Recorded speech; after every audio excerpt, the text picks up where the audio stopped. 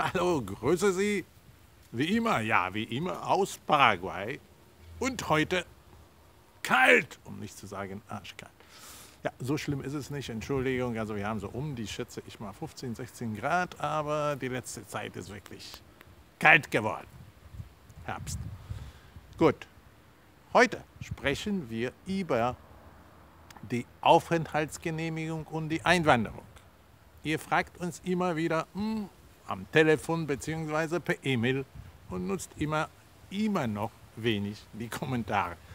Also schreibt bitte mehr darunter, damit wir eure Frage gerne beantworten können.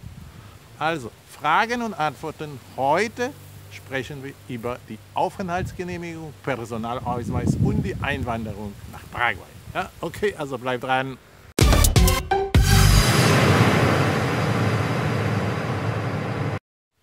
Also um die Dauerhalts- oder beziehungsweise Aufenthaltserlaubnis, die dauerhafte, zu erhalten in Paraguay habt ihr zwei Möglichkeiten. Einmal, ihr beauftragt einen Einwanderungshelfer, die nicht unbedingt preiswert sind, aber man muss auch darauf achten, dass man also den richtigen wählt. Und die zweite Möglichkeit ist, ihr geht einfach selber hin zur Migrationsbehörde, also Einwanderungsbehörde, und erledigt die Sachen in Eigenregie. Dazu braucht ihr aber gute Spanischkenntnisse. Mit Englisch kommt ihr nämlich nicht weit, okay?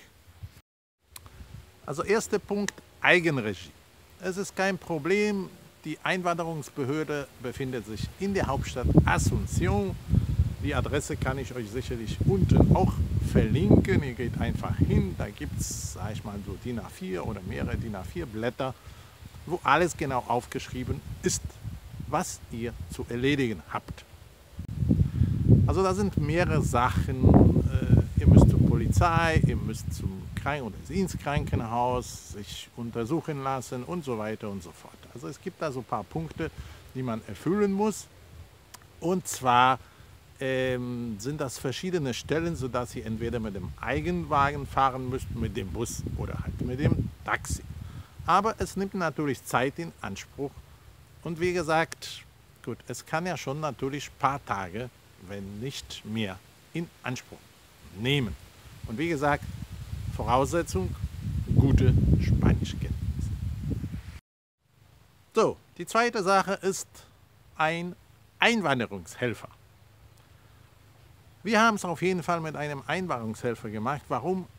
Ganz einfach, also für uns als wir eingewandert sind, vor ach, mehr als 15 Jahren, war es ja wichtig, dass wir natürlich auch die richtigen, sage ich mal, die richtigen Einwanderungsdokumente bekommen und auch nicht gefälschte oder illegale womöglich ja, Dokumente erhalten, weil damit wollten wir natürlich keinen Ärger haben. Also Personalausweis, ein paraguayischer Personalausweis ist auf jeden Fall wichtig.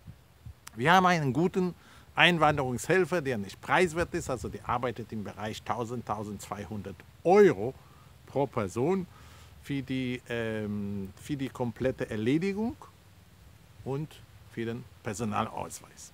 Und damit habt ihr keine Probleme. Ihr bezahlt den Mann und in einigen Wochen bzw. auch Monaten, je nachdem, ist die Sache erledigt und bekommt die richtigen Papiere, Dokumente, also Personalausweis, ausgehändigt. Okay?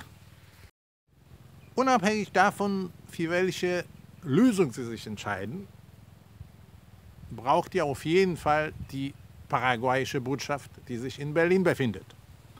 Unten gebe ich auch Links, damit ihr sich direkt an die Botschaft wendet könnt, weil ich habe schon zwar ein Video gemacht über Einwanderung, über Dokumente, aber glaubt mir, ach, das ändert sich ständig und im Prinzip das Video in ein paar, weiß ich nicht, Wochen, Monaten wird nicht mehr so ganz aktuell sein.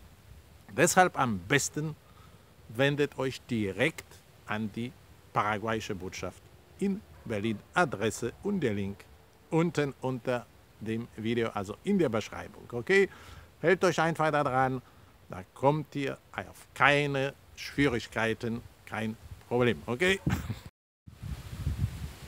Also, um es kurz zu fassen, ihr braucht zwei Sachen. Also, Selbstversorgung bzw. in Eigenregie die Sachen zu erledigen, einen Einwanderungshelfer zu beauftragen dann braucht ihr die Dokumente, die nötigen Dokumente aus Deutschland.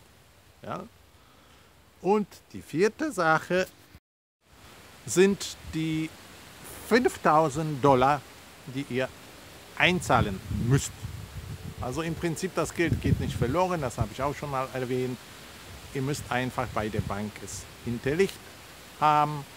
Und wenn ihr nachher Cedula, also Personalausweis, bekommt, könnt ihr das Geld wieder nach einem kleinen Abzug abgeben vom Konto. Also es geht auf keinen Fall nicht verloren. Ich denke, in Kürze habe ich euch alles erzählt. Falls ihr Fragen habt bezüglich der Einwanderung, Einwanderungshilfe bzw. anderen Sachen, die mit der Einwanderung nach Paraguay in Verbindung stehen, bitte einfach die Kommentare bzw. sämtliche Fragen bitte unten stellen. Okay? Falls es euch gefallen hat, wieder links nach oben. Teilt das Video gerne auf YouTube, an die anderen, Facebook, Twitter, Instagram und auch alle anderen. Also mach's gut. Also wie gesagt, ich hoffe, es wird ein bisschen wärmer. Das Wetter ist schon einigermaßen. Deshalb, wie gesagt, links nach oben, Likes, Daumen nach oben. Links, wie immer, weitere Videos, die sehenswert sind. Und wir sehen uns beim nächsten Video. Okay, mach's gut und hält die Daumen. Das Wetter wird, glaube ich, besser. Bis dann. Ciao, ciao.